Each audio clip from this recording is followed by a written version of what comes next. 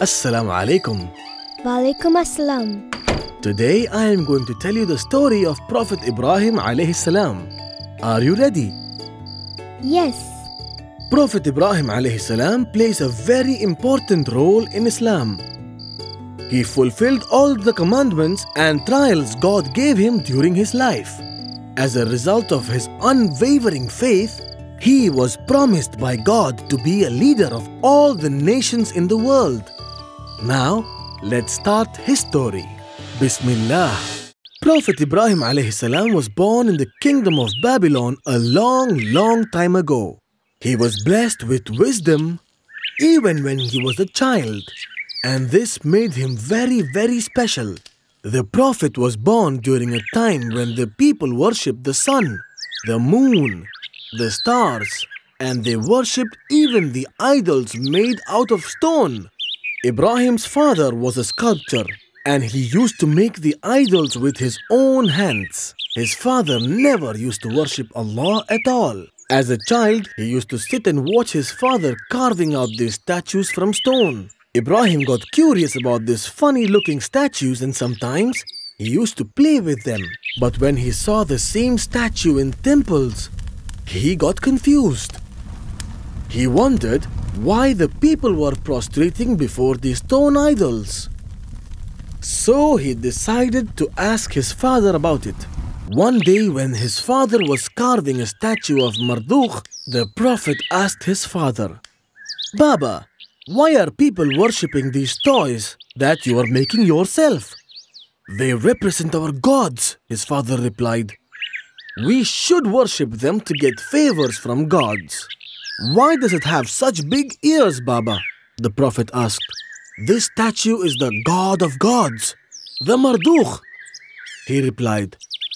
The big ears represent his deep knowledge.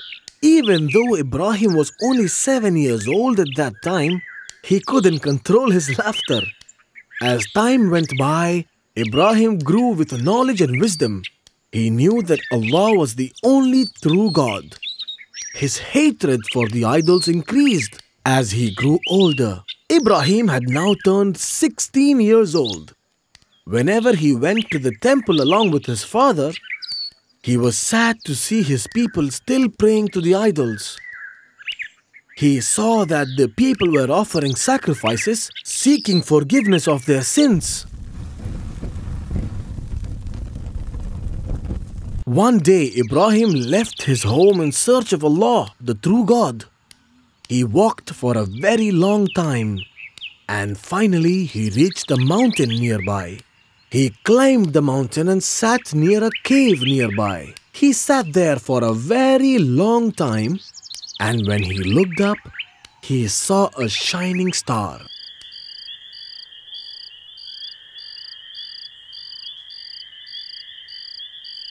When he saw the beauty of the star, he wondered if this star could be Allah. But after a while, the star disappeared.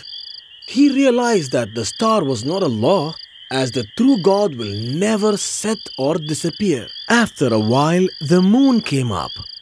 The moon was very, very beautiful. So Ibrahim wondered if the moon could be Allah. He sat there gazing at the moon for a long time. But after a few hours, when the moon disappeared from the horizon, he realized that the moon was not Allah. Ibrahim was disappointed, but he continued to sit there on the top of the mountain watching the horizon. It was early morning by now, and that was when the sun came up. He looked at the bright sun and wondered again if this could be Allah as it was bigger and very bright. But by evening, when the sun set in the horizon, he realized that it was not Allah, as the true God would never set. It was then Ibrahim realized that the true God can never be created. He understood that Allah is the creator of everything, even the sun, the moon, and the stars. He then prostrated on the ground, offering his thanks. He knew that Allah had just guided him to the truth. It was then he realized that Allah had chosen him to be a prophet. God had chosen him to guide his people. It was going to be a new life for Prophet Ibrahim salam. He then traveled back home to tell his father about the great news. But when his father heard what he was saying, he got very, very angry. How dare you reject my gods? He asked angrily. Oh, my father, follow me. I will guide you on the right path. Allah will punish you if you don't repent. The Prophet pleaded with his father. I will ask people to stone you if you don't stop speaking like this. His father shouted at him. The Prophet was then asked to leave the house by his father. Ibrahim was sad for his father, for he had turned him away. He realized he could do nothing more. So he left home and walked away. He then went to the other people in his kingdom to guide them. He realized that it was his mission to call people back to Allah. Ibrahim went to the market and shouted to them, Allah is the one and only true God. There is no other God but Allah. There is nobody worthy of worship except Him. I will not bow down to the idols anymore.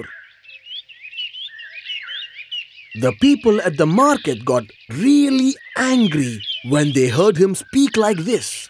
Why do you worship these idols? He asked them.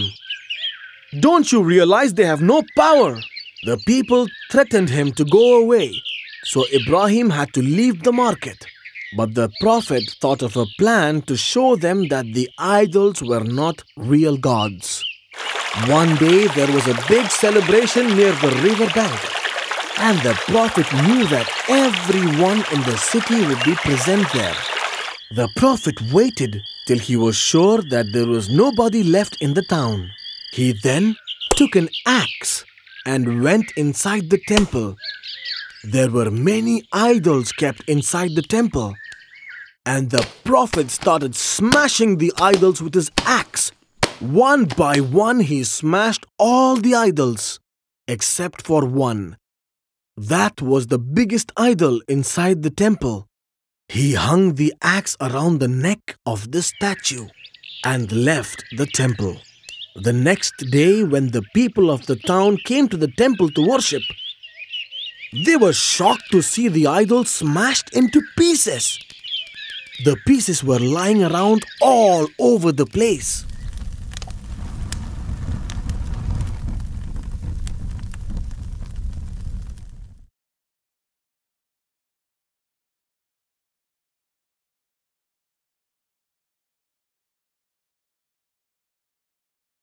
They gathered together and discussed who could have done this terrible act. There was a young man at the market yesterday. One of them said, He was speaking against our gods.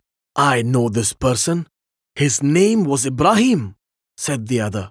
The people found Prophet Ibrahim and brought him to the temple. Are you the one who has done these to our gods? They asked him. It was the statue here. Yes, that big one, the Prophet replied. Why don't you ask him? He will tell you if he can speak. This angered the people further. You know very well that these idols do not speak. Then Prophet Ibrahim said, Then why do you worship these idols who cannot speak, nor do they see or hear? Have you lost your minds? The people were ashamed and looked around, and they saw the shattered pieces of idols lying everywhere. Some of them realized that Ibrahim was saying the truth, but the others were still very angry with him. Punish him! They shouted. They wanted to take revenge for shattering the idols. They tied him in chains and gathered around to discuss how they were going to punish the Prophet. Let's burn him in fire, one of them said. Let's build the biggest fire anyone has ever seen and throw him into it. Everyone thought it was a great idea. The people of Babylon then started building a fire so large that even the birds could not fly above it. It was so hot that the people couldn't go near it. MashaAllah, That was such a great story. That's all for today. I'll tell the rest of the story tomorrow. Okay, Baba. Shall I ask you a few questions from the story? Yes, Where was Prophet Ibrahim alayhi salam born? Babylon. He was born in Babylon. MashaAllah, that's the right answer. Now tell me, what did the Prophet's father do? I'll give you some options. Option A Carpenter. Option B Sculpture. Option C Woodcutter. This one was so easy. It was option B. He was a sculptor. Hmm, right again. Now for the next question. Tell me why was the Prophet asked to leave from the house? The prophet refused to worship the idols, and this made his father very angry. That's why his father asked him to leave the house. Isn't that right, Baba? That's correct, my son. Why were the people of Babylon angry at the Prophet?